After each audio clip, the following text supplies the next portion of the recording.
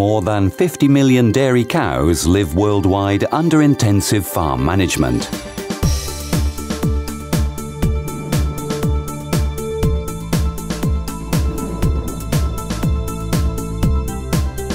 A cow needs to give birth to a calf to give milk. I have 500 dairy cows on my farm right now. I'd like to milk more cows and increase yield, but unfortunately, I have to replace too many cows because they do not rebreed. This reduces the profitability of my dairy farm. Fertility is an important topic in dairy farm management. Imagine, I have to replace about 175 cows each year. That has a huge negative impact on my business. 35% of 50 million dairy cows are replaced every year. This means that per year, 18 million cows are leaving the herds.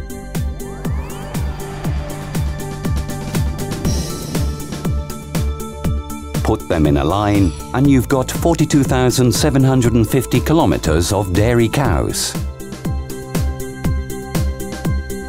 This is one time around the world.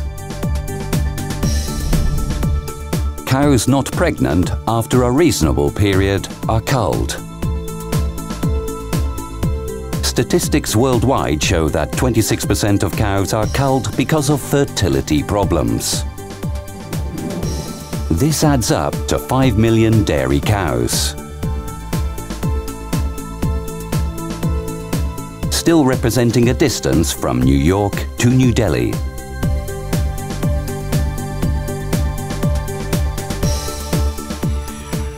Financial loss per cow culled is 500 euros. Multiply this by 5 million and you've got a worldwide financial loss of 2.5 billion euros. These 5 million dairy cows have to be replaced by 5 million heifers. A heifer costs on average 1,200 euros. So we have a replacement cost for dairymen worldwide of 6 billion euros. Fertility problems are largely due to nutrition. To maximize fertility, a cow needs, for example, beta-carotene. Beta-carotene is a fertility vitamin in dairy cows. In the animal, it is accumulated in the ovaries, where it participates in the synthesis of hormones.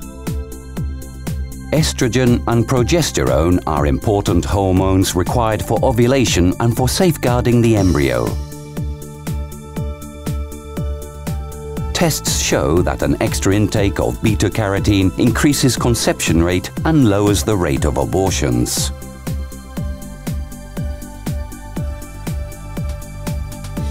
But is that all?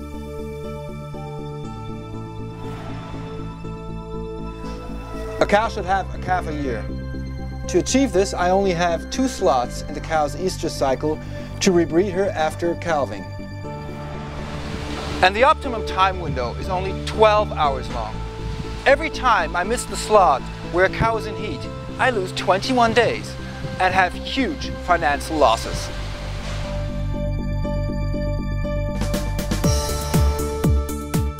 Another benefit of beta-carotene is that cows show better signs of heat, helping the farmer to breed them at the right time.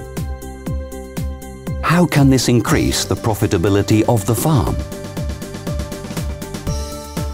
One missed estrus cycle increases the calving interval by 21 days. Based on milk yield and milk price, each day longer in the calving interval reduces the milk income of the dairyman by 5 euros per cow. If 5 million cows can be bred 21 days earlier, the gain would be 525 million euros. And for 50 million dairy cows worldwide, this represents an extra 5 billion 250 million euros.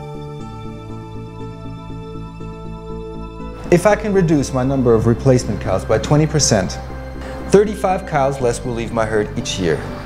This brings a benefit of 42,000 euros. Breeding my cows one estrus cycle earlier means about 500 kilograms more milk per day from my herd and 53,000 euro extra income per year.